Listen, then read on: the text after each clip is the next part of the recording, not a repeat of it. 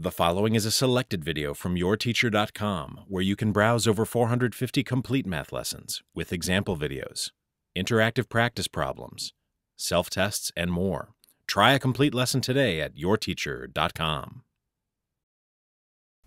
If we're asked to graph the line y equals 3x minus 6 using the intercept method, we start by finding the x-intercept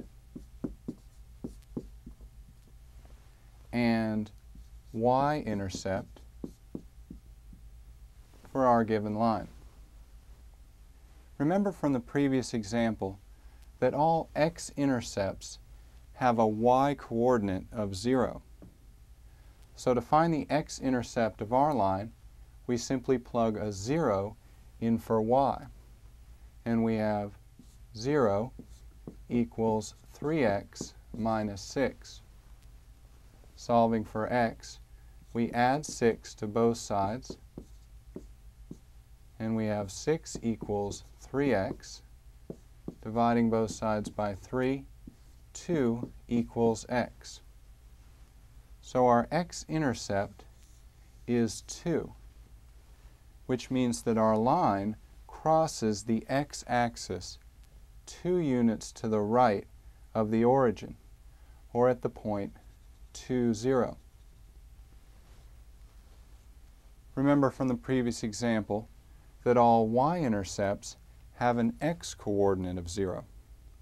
So to find the y-intercept for our line, we simply plug a 0 in for x back in the original equation, and we have y equals 3 times 0 minus 6.